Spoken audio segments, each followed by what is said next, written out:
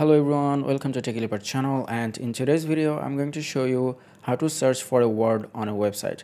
Now there are two methods to do it. The first one is to finding something on a particular page like this and the other method is finding something from the entire website in case you don't know which page contains that particular word or information.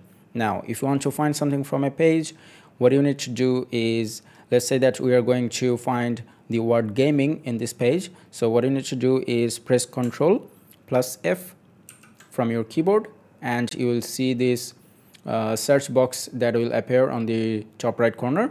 And then in here type in gaming. And here you can see we have 41 matches.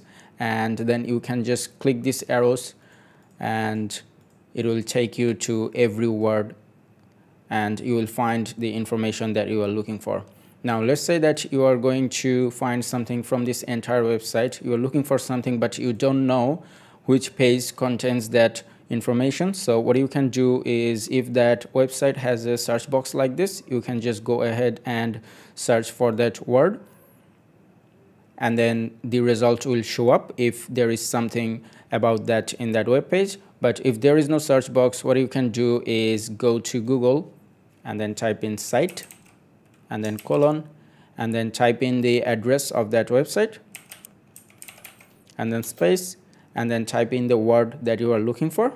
So let's say that we are looking for uh, DNS and then press enter from your keyboard. And here you can see that all the pages from that particular website with the word DNS in it have showed up. And let's say that we click here